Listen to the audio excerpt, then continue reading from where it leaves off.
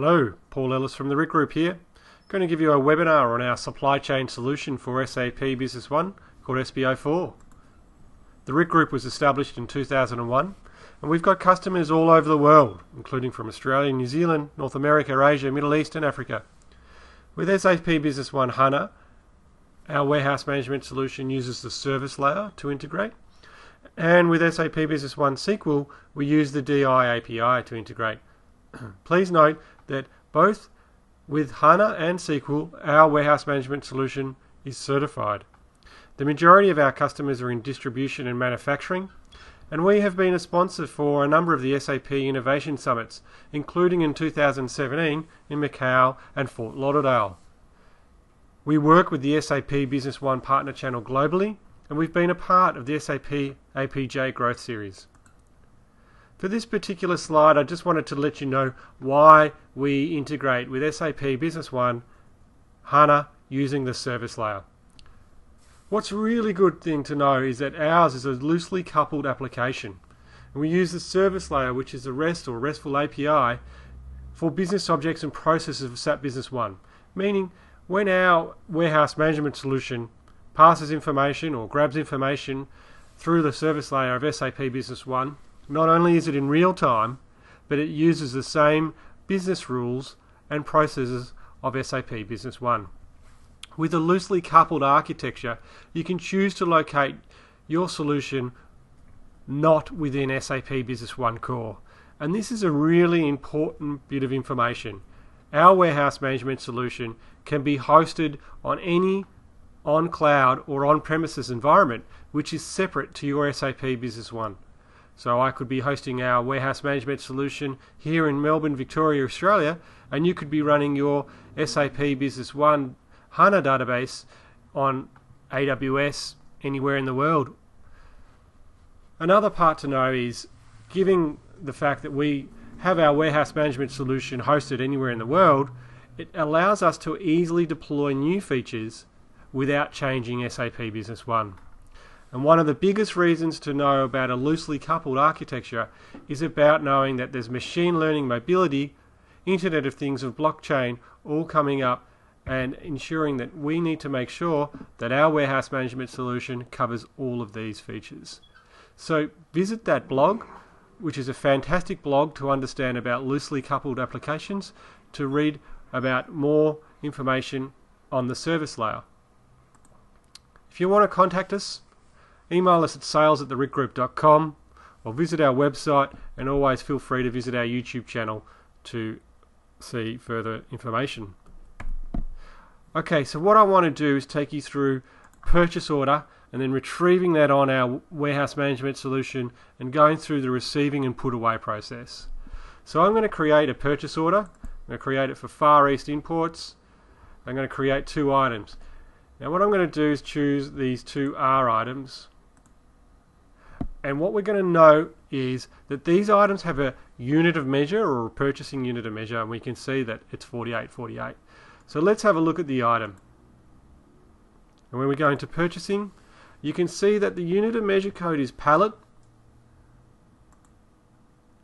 And we can see that the pallet has been defined in a unit of measure and the pallet is 48 or 48 packs. And within that, we've got our two barcodes that represent the pack at the moment.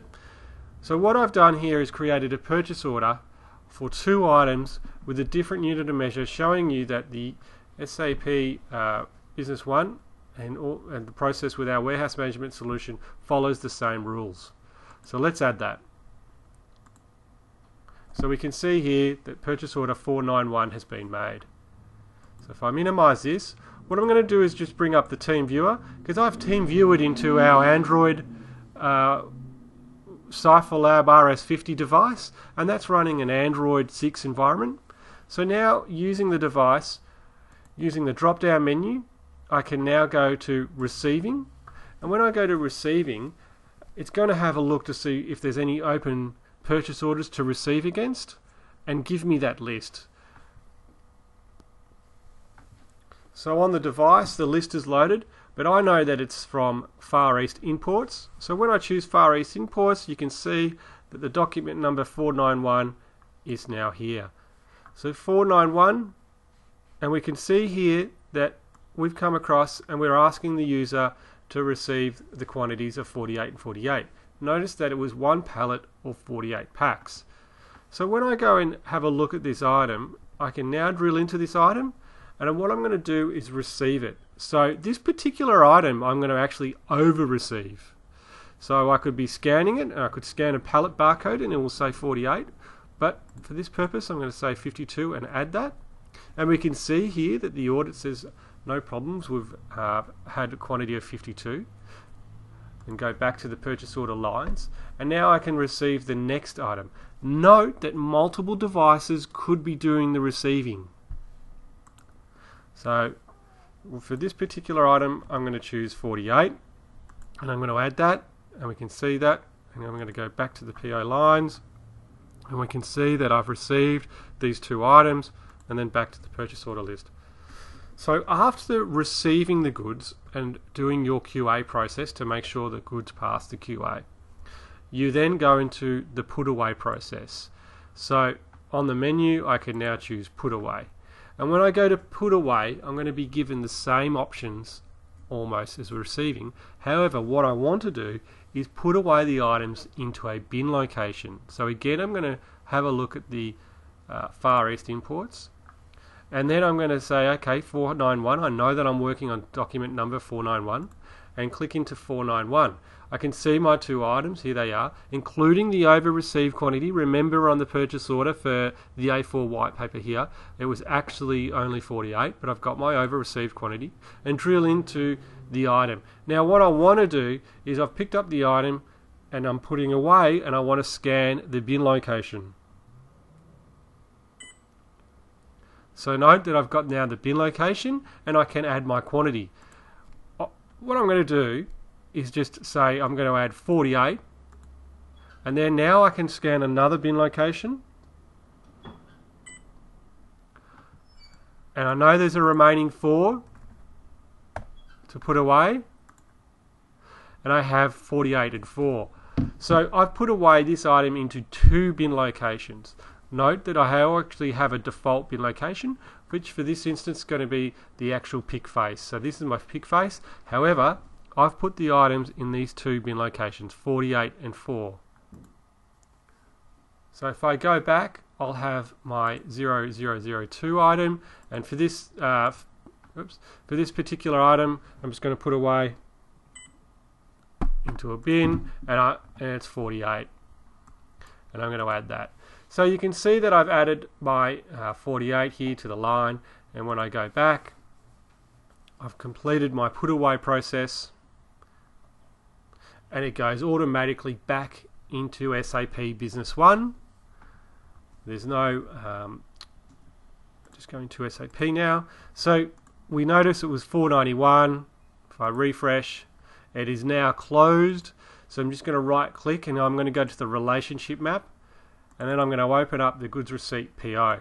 So with the goods receipt PO, because we've completed the put away process, the two items are going to be put away or updated into their um, you know, bin locations. Just note here that when we've received the quantity, it is by, by pallet, and because we've received 52, which is over the pallet, it's a um, you know incremental quantity. So I'm going to go into the bin allocation list and you can see here that I've got my two bin locations that I've put away the item of 48 and 4 so it's updated the receipt with the actual put away and when I go into the second item we can see 48 into this bin location. So what we've done here is created the fact where you can do the receipt and then do the put away and the put away will update the goods receipt with the actual bin locations that you received from. The second part I just want to show you is the stock lookup feature and if I go onto the device I can go into uh, stock lookup. And on the stock lookup I'm able to scan items. And it will pull back information such as warehouse information um, quantity on hand by that bin. So the it's actually quite quick So when I go back and pull back that information, the software is actually looking up SAP Business One at that current time. So as soon as I hit the scan button and I scan the barcode, it goes and does a live lookup in SAP Business One HANA and returns the information. So everything that you see is in real time in SAP Business One. So again, I could do a search, do a manual search, and I can see the item and have that item updated onto the device. So it gives a it gives a user a real easy ability to scan the scan the item and say, okay, well, what should be my quantity on hand in the bin locations uh, at this current time, and then also allows you to be able to check the barcodes of the items, and then if you've got multipliers added to that. Thank you for listening. Appreciate your time. As I say, feel free to email us at sales at the RIC Group if you want further information.